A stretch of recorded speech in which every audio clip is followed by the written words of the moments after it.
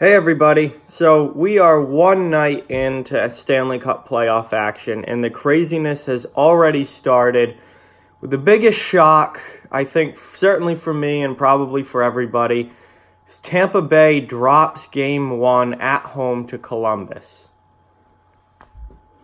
Tampa, Tampa, Tampa, what are you doing? Uh, this, I mean, so many people had Tampa winning this in a sweep at least in five or less games. This was supposed to be a cakewalk for the Lightning, and they have already lost game one at home. Um, now, I didn't. I saw the beginning of the game and then switched over to Pittsburgh and New York, so I didn't see exactly what happened, but I can almost guarantee you this. Tampa gets out to a 3 0 lead in the first period, and they start thinking exactly what I just said that this is going to be a cakewalk. This is going to be an easy series. They're going to just blow through Columbus, and they took their foot off the gas. And as soon as you take your foot off the gas, especially in the NHL playoffs, you're going to get burned, and that's exactly what happened. Columbus came all the way back and ended up winning 4 to 3. Um, just a devastating and disappointing loss for Tampa Bay, and a huge, huge comeback for Columbus to steal game one. Now, with that being said, this loss is certainly not a death sentence for the Lightning. It's only one game. And it's, I think it's important to remember that it's only one game. Nobody wins or loses a series in game one. And I think, you know, if you're a Lightning fan, you really need to hope that this served as a major wake-up call to Tampa Bay. And I, I you know, they're a veteran team for the most part. They do have some young pieces, but they've got a lot of veteran leadership there. They've got a really good coach in Jon Cooper. I would not expect a, a repeat of this again. I think this certainly is a real slap in the face and a big time wake up call for the Lightning to to just be like, hey, we're we're yes, we won the President's Trophy. We were the best team in the league by like 20 points over anybody else. We tied the NHL record for wins in a season. But guess what? None of that matters in the playoffs. Absolutely nothing about that means anything in the playoffs. When you get into the playoffs, everything resets to 0-0, tied series. And, and, and what you did in the regular season is meaningless. The only thing that helps you with is who you get in the matchup, and that's it. And and I think Tampa was a little too uh, they were feeling themselves a little too much, especially after getting out to that 3 nothing lead. When they got out to that lead, I think it really set in like they they were like Columbus, this team barely got into the playoffs. We're going to destroy them.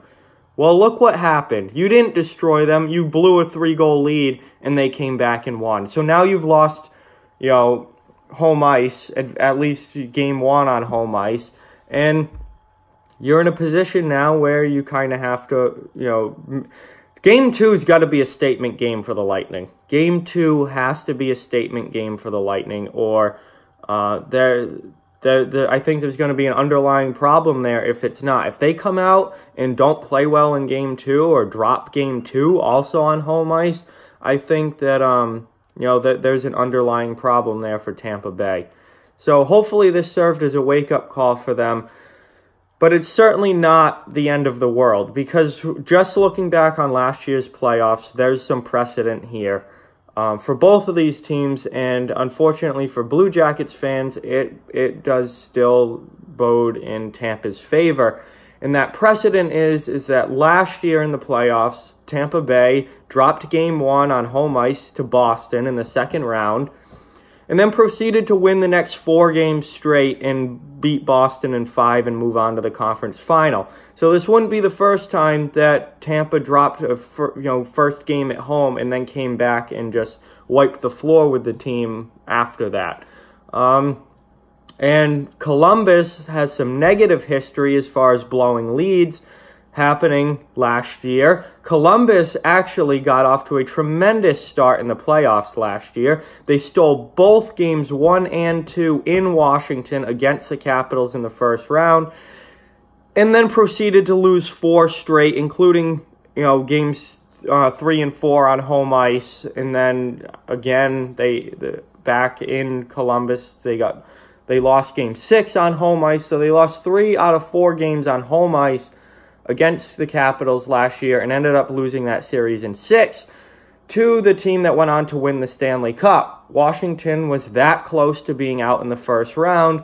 Columbus couldn't close the deal, and they came back to win it in six. And then obviously Washington went on to beat Pittsburgh, beat Tampa Bay, and then beat Vegas.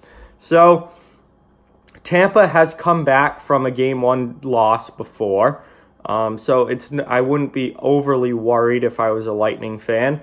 And and Columbus has blown series leads before, and really you know, one game isn't much of a lead. You know, if Columbus was to go up two to nothing and then blow that, that would be more, you know, exactly what they did last year, but that would be really a blown lead. One game isn't really much in the playoffs until you get to game five, where you take the 3 2 lead, and that's, that's a huge game. But, um, you know, it's just it was, it was it was just shocking more than anything else to see Tampa lose to Columbus at home. The team with 62 wins, tied the NHL record for wins in a season, loses on home ice in the first game of the playoffs to a team that didn't get into the playoffs until the last couple days of the season. That I mean, that that's just shocking, and nobody had that happening. I don't think think very very few people picked that would have picked that to happen. So uh, Tampa really needs to get it together and uh, make sure that they're ready to go in game two. Game two is big. I, I really think that game two is big. If Columbus takes game two, I think, you know, and heads back home with a two games to nothing lead, I think Tampa's got a, I mean, that's full on, not panic time for Tampa, but that's full on, okay, we need to win these next two games. Like it's it's a must win these next two games to get this series back to 2-2. If Tampa wins game 2, which I fully expect them to, then I think that it was all right. Game 1, we got caught up in ourselves a little bit. We we kind of took the, our foot off the gas. weren't didn't bear down enough, didn't respect our opponent enough, but we're back on track and we're going to finish this. And then I would expect Tampa to take full control of the series. But game 2 is going to be a big one in that in that matchup and um, we'll see what happens. But I, uh, one night, one night, and we've already got some craziness going on. Um, another thing to note is that three out of the five home teams last night lost. So home ice advantage hasn't really been an advantage in the wasn't an advantage in the first night. Uh, three three of the teams starting at home lost. Nashville lost, Winnipeg lost, and Tampa lost.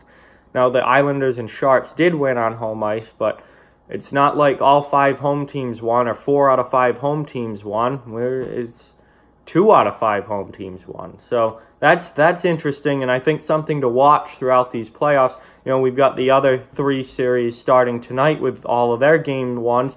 See how many home teams win and see how many lose. I think that's an interesting thing to watch is home ice that much of an advantage, especially early on in the series? I think if you get to a game seven and you're playing game seven at home, that's definitely an advantage. But early in the series, is it an advantage or does that just put more pressure on the, the home team? So we'll see what happens tonight, but the uh, it's been a wild, wild playoffs already. And um, we already had an overtime game with the Islanders and Light, uh, Penguins. The Lightning lost. Um, Nashville lost. Not good for my Stanley Cup pick.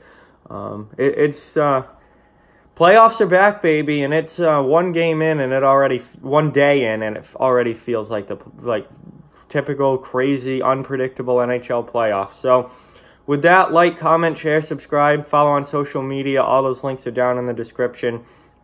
If you'd like to further support the channel, the links to our Patreon and merchandise store are down in the description as well. Uh, keep spreading the word about this channel. Let's keep this thing growing. Thank you very much for watching. I hope you enjoyed the video, and I'll talk to you guys soon.